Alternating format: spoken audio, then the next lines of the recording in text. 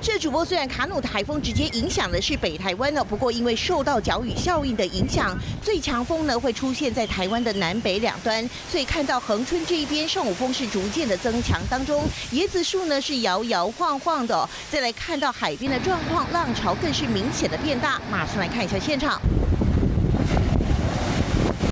上岸边，海上呢也推出了一波波的长浪。因为卡努台风的逼近，中央气象局对七县市发布了陆上强风特报，最大阵风呢会来到九到十级。而台风接下来引进的西南风水气呢，恐怕让中南部地区雨量下的比北部还要多。不过看到恒春海边的云层已经是乌云密布，可能随时都会下雨，提醒南部沿海一带的民众还是要做好防台准备。好了，以上是您掌握的最新讯息。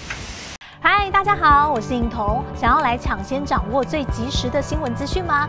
赶快订阅、按赞、开启小铃铛，锁定华视新闻的 YouTube 频道。